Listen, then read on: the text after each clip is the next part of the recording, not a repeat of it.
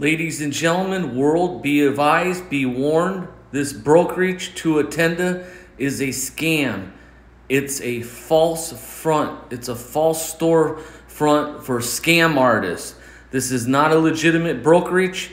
This is a scam artist brokerage. Any money you put in, any money they say they're helping you to contribute is controlled by them. All messages are controlled by them. You will not get your money out if you use this brokerage.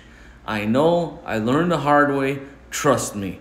This is a scam. I'm posting this so Google searches hopefully will refer my video because I did not find much on this Tuatenda when I did my research. Now I know why. Scam. Stay away. Shut it down.